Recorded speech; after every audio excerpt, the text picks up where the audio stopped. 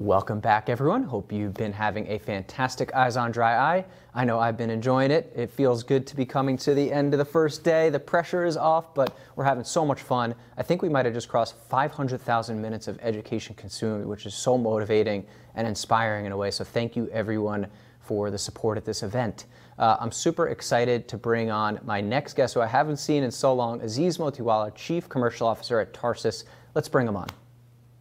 What's going on, my friend? Good to see you. Great to see you. Thanks for having me. You enjoying the show? It's been fantastic. Really impressive. I think I heard the stat: six thousand registrations, and you just said almost half a million uh, uh, minutes. That's that's yeah. really impressive. Yeah, thank you. Couldn't do it without you guys. We really appreciate it, and um, yeah, I think we it's it's funny because registrations keep trickling in as folks are hearing more, and so it's been an incredible event. Uh, we're really really excited, obviously. So you know your history in dry eye goes way back, and you know your focus now on Demodex blepharitis, and, and, I'm really curious to see you know kind of the parallels. You've got a history in understanding dry eye in a deep deep way, and um, how that is now. Uh, how, how you're bringing that into your focus on Demodex blepharitis. Tell me as much as I'm all ears. That's great. Um, when I started talking to the Tarsus team about joining, the first thing that stood out to me is the work on Demodex blepharitis is so analogous mm-hmm. to what we saw in dry eye. You have a large patient population that's suffering significant symptomatology, significant impact on their disease, on their daily living. And much like dry eye, before there was a good solution available, these patients were often going undiagnosed, they're missed in the practice because there's no good solution. Mm-hmm. And we see the same thing with Demodex blepharitis, where you've got a large patient population. A lot of these patients are not being identified in the practice or they're being misdiagnosed today, primarily because there's not a good answer to solve the problem today. So we see a significant opportunity to help these patients. I think there's also some differences that actually make Demodex blepharitis really exciting. One of them is the fact that with Demodex blepharitis, we can go after a very specific root cause of the disease. If you compare and contrast this with dry eye, dry is a multifactorial disease. We're looking at attacking different infl- inflammatory pathways. But with Demodex blepharitis, it's actually pretty straightforward. We're going after the Demodex mite, the root cause of the disease. Yeah. The other significant advantage is with Demodex blepharitis, we have an objective and pathognomonic sign of disease, and that's the collarettes. Mm-hmm. The collarettes, the waxy cylindrical dandruff that sits at the base of the lash. It's a very straightforward way in which physicians can identify the patients and make that diagnostic climb much easier once we have a great solution. Yeah, and, that's it just seems to be talking talked about more and more and more, which is great. I mean, we want that uh, that focus on it, and it's it's I'm, I'm loving that it's coming up as a topic uh, at this particular event. So, so tell us more about Demodex blepharitis in general. Um, you know, prevalence specifically, and you know, impact on patients. Would love to hear more. Yeah, great. And, and, as you mentioned, it's becoming more and more of a topic. We've done a lot of work here. Mm-hmm. Um, in fact, 80% of the literature around Demodex blepharitis has actually been published in just in the last five years. Right. So it is an area that the interest is growing, and we're continuing to learn a lot. And one of the areas we really invested some time and effort to learn is how significant this problem is. And what we found is that this disease affects up to 25 million Americans. If you looked in literature historically, it said, okay, there's 20 million blepharitis cases in the US. About half of them have Demodex, so you've got about 9 million patients. But once we started talking to clinicians and thought leaders, what we heard very clearly is I actually see this in my practice way more frequently than what most people think. So we actually commissioned a study. This uh, study is the Titan study that recently completed, and actually the results of this will be presented in the summer at the ASCRS meeting. And this study looked at over a thousand patients coming into seven different clinics across the U.S., both ophthalmology and optometry.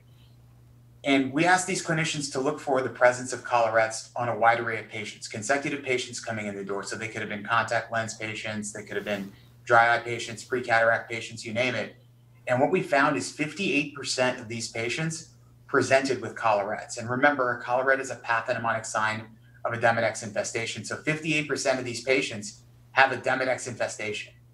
There's about 45 million unique visits to the eye doctor every year. So that leaves you with a true in office, real world prevalence of about 25 million patients. And these are patients that are experiencing redness, itchiness, irritated eyelids, misdirected or lost lashes, and oftentimes they're suffering for a long time. And, and these are patients that are very prevalent in the practice. They're your dry eye patients, your contact lens intolerant patients, uh, your cataract patients. So lots of significant patient populations within the practice that are suffering. And if we start to look more closely, we see that this is far more prevalent than what many might have thought before. Yeah, this is a really impactful slide. I'm actually pretty blown away by seeing these numbers you know, right here, it's, a, it's, it's absolutely surprising. And, and where, where can we find these patients? I mean, this is a large number, and I think you're just starting to graze the surface here. So where can we find them? Yeah, no, it's, it's a great point. And, you know, one of the things we learned from the, the Titan study, a lot of the investigators in the study, a lot of them said, well, I probably think maybe it's about 15% of the population or 20% of my patients may have this. And what we asked them to do is, well, really take a close look at the eyelids, right? And the idea of examining the eyelid and looking proactively for this. And what we found is when you look proactively at the lid, it tells a very compelling story. And this visual is really great, right? It shows oh, yeah. you what you might see at the slit lamp when you're looking at the eye head on, the eye's open, and the eye looks pretty normal. But the second you ask the patient to look down and you see the upper lid, it tells a very different story. Yeah. So one of the things we've been talking to clinicians and thought leaders about is this idea of really ensuring that we're looking at the eyelid because the eyelid is a foundational component of ocular health. And if we start with the eyelid, we may be able to identify a very significant prevalent problem that hopefully with the work we're doing at Tarsus, we'll be able to address in a very elegant way, hopefully soon. Yeah, no, I, I really like that. And it seems that so much of everything at this show, like all of these treatments and whether it's treatments or diagnosis, it, it, everything leans upon each other. So everything has a kind of a place in this multifactorial disease, right? And this is such a missing piece. So you must be super excited to just be, you know, in the thick of it, involved. This is going to be really exciting. It, it is really exciting, and, and, what's really energizing is when you talk to folks like yourself, you talk to other clinicians. When you ask them to look for this, it doesn't disappoint. It's there, and it, it's really energizing when you are able to provide a, a level of education around prevalence, around how we can help more patients. And you see some of the top clinicians in the country have a light bulb moment around the fact that I've been missing this. Yeah. A unique opportunity. I mean, Matt, that, that's what really gets me excited about this is that this is something we're covering and we're learning about together, and we're going to work together to solve this. Yeah, no, no, it's the light bulb moment is key. So what is TP-03 and how can it help these patients with Demodex blepharitis? This is, this is the exciting part. Tell us more. Right, so TP-03 is our lead investigational drug that we're exploring for Demodex blepharitis. It is an ophthalmic formulation of a drug called lotilaner. And lotilaner is a potent, non-competitive antagonist of the parasite GABA-chloride channel. What it does is essentially paralyzes the mites, and it's specific to paralyzing the mites.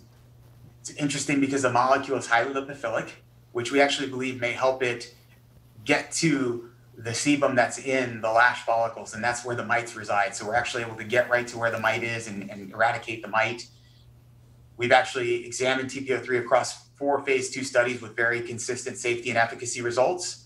And now we've moved the drug into our pivotal studies, Saturn 1 and Saturn 2. Saturn 1, we just completed enrollment in, and we're planning on having the top line released over the summer. And Saturn 2 is scheduled to start enrollment here in the next few weeks within the second quarter. Ooh, coming up. It's coming up soon. There's going to be a lot, lot of work to do. Yeah, but I mean, I, there's not going to be a doc out there that's not excited for something like this. I can I can already hear it at next year's Eyes on Dry Eye. This is going to be an exciting topic. Uh, what else is in the clinical pipeline, and uh, what's next? Yeah, so from a pipeline perspective, we are looking at several different applications of lotilaner. Mm-hmm. Um, we're looking at some things in dermatology. We're also looking at systemic use for the prevention of Lyme and malaria. Mm. But uh, when we talk about TP-03 and Demodex blepharitis, which I'm sure this audience is mostly excited about, um, we are looking at again initiating the Saturn II trial here in the coming weeks of the second quarter. Um, we're looking at uh, reading out the Saturn I data over the summer and then we're also looking at TP-03 for other ocular conditions. We're actually going to be doing a phase two study later this year examining the effect on meibomian gland disease. And I'm sure many of the folks here know that Demodex is actually implicated in meibomian gland disease as well. It's the Demodex brevis mite that can burrow into the meibomian glands, feed off those rich oils, and may have a role in obstruction and inflammation of those glands. So we're really thrilled to be able to examine uh, a potential treatment for one of the most common causes of dry eye as well. So um, more to come on that, but uh, certainly another area of focus, um, if you will. You know, we think that the, the lids are an incredibly important part of ocular health. So first starting with Demodex blepharitis, and then eventually being able to potentially go into to meibomian gland disease as well. That's going to be big. Yeah, I, am thinking of all these funny jokes of Demodex not paying rent in my meibomian glands. You got to get out of there, or else, you know, come on. I, I, think we'll, we'll, probably figure something a little more elegant than uh, trade commercials, but uh, yeah, you know, it, it's it, you know, I think it's really relevant, right? I mean, this is going to be a very compelling message for patients as well as clinicians. We're going to be able to get a lot of patients in the practice that are going to want to have their eyelids screened and want this problem solved. And ideally, we'll have a, a, really great solution for clinicians to make a big difference here. Yeah, no, and I think there's just something so important about being able to physically see Demodex blepharitis and blepharitis and collarettes and how a treatment plan you know, because with regular dry eye, sometimes you're not, you're just feeling it, you're not seeing it, and being able to see it and see the removal of it is is gratifying for the doctor and the patient. It's just like, oh, not only can I feel it, but I can see it. You know, it's really spot on. And in, in early days, and talking to some of the thought leaders we've been working with, I, I think this has the potential to really provide a clinician a, a wow effect, where you can really see a problem and then potentially have a solution that that could be very visual as well, right? Uh, you know, getting rid of the collarettes, getting rid of the mites. Uh, it's a very compelling visual story. Um, so we see that as an opportunity to really educate around the prevalence, have patients come in, have clinicians be able to find this relatively easily compared to a lot of other ocular disease, and, and really provide a compelling solution for their patients. That's that's a great point, Matt. Yeah, I was reading prior, just preparing for everything, that Tarsus recently uh, had a great deal in China. How does that factor into your plans? Absolutely, yeah. China has uh, been on our radar. It's the second largest healthcare market in the world, and our goal is to be able to help as many people as possible. And this opens the doors for us to be able to go to that second largest market where you've got potentially up to 40 million Demodex blepharitis patients, 70 million meibomian gland disease patients. So a large market where we can help many, many patients. Uh, and you know we've got a great partner in LianBio. And when you look at that market and the work we've done initially in, in structuring that deal, um, the current management is remarkably similar to what we see in the U.S. So there's a significant need there as well. So we're really focused on bringing this innovation to market and bringing it globally. We have global rights to lotilaner Lantern, and everything we're doing, we're doing with a very broad eye in terms of helping as many people as possible. That's awesome. Well, the only way you can help them is with us to help you. So, you know, if there's a message to the ODs attending the show or that are going to be watching this, you know, how can the average OD, the average ophthalmologist, uh, help out and, and what can we do? Yeah, so I'll, I'll answer that with a quote from one of my favorite movies, Jerry Maguire, help me help you. Yeah. Uh, help us by giving us great feedback, giving us insights and ideas. Um, I think that that's the best way we can continue to, to develop and, and have the right plans to commercialize this drug um, so that we can best serve the community, uh, the optometric community, the eye care community as a whole. Uh, so we're always open to feedback and ideas. We love to hear from thought leaders, clinicians, folks like the folks that are taking part in this conference. We really love to hear the perspective of what's going on. Um, and you know, I always tell people, I said, if you really want to really dig into this, start to look. You won't be disappointed. Start to look at the upper lids and, and, really start to understand how prevalent this is, what impact it's having on your patients, because there's going to be a lot of work that's going to need to be done in terms of educating the broader community around the prevalence and impact of this. So let's start to build that knowledge base so that when we have a solution, we can effectively educate our colleagues and make a big difference for these patients. Yeah, no, it's super solid sound advice, and I hope that uh, those listening take it for sure. Um, before we close out, any other closing thoughts? Anything you want to add? Any questions for me? I don't know how much I can answer, but. no, it's great. Yeah, congratulations on a great conference. And as you mentioned, it's been a little while since you and I were able to connect, but yeah. uh, thrilled to see you. Thrilled to be back in the eye care space. It's been so fun to connect with so many of my colleagues here in optometry and so many just great people and, and working so hard on, on making such a big difference. So really thrilled to be part of it and really thrilled to be included and would ask that uh, if anybody wants to, to keep in touch or, or, stay abreast of what's going on at Tarsus, you can follow us online uh, at TarsusRx on Twitter or Instagram. Uh, we'll keep you posted and we look forward to hearing from all of you.